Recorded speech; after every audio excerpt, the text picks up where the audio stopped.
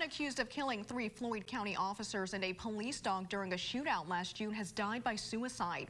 Commonwealth Attorney Brent Turner confirming Lance Storz committed suicide overnight in the Pike County Detention Center where he was being held.